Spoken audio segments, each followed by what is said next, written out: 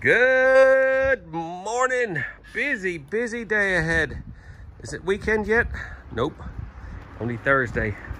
First client of the day just dropped this off. This is Kawasaki Z1000 SX. This is a new purchase. He had a MT07 previously.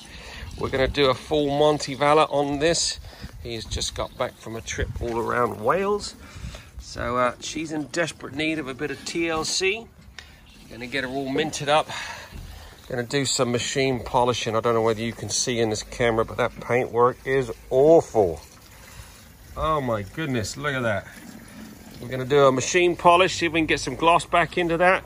Get all the pipes polished up, machine polish all the windscreen, front fairing, get some ACF 50 on it, get all this old chain lube off, get some uh, fresh lube on there, get some protection on it get it looking like it should.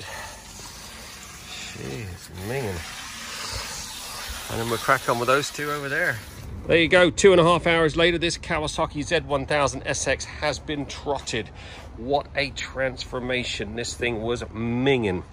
We've done a full wash, a degrease, managed to get all that built up chain lube off the swing arm, oh, all the collector box down there. Must have had a half inch worth of chain lube all stuck on, all up underneath there. Back of the number plate has all been cleaned. We then painted loads of stuff. I had to paint these wheels. They were a right mess, all chipped, marked up.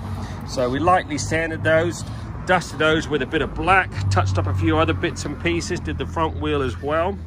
And then we treated it to a nice coating of ACF 50 all up behind your fairing brackets, the forks, all your engine, all your suspension linkages, all have a ACF 50 on them.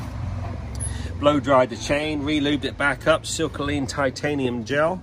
And then we got down to some serious paint correcting. This tank was a right mess. I must have done four or five runs with this, but uh, definitely worth the effort. Look at the shine. Could eat my lunch off of that. Took the windscreen off, polished all that up, got all the little scratches out of it, all the bugs that were ingrained. It's come up right treat.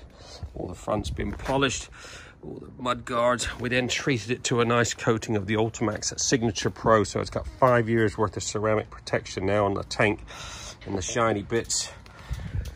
Mirror polished up the exhaust, painted the side stem, all ready to go.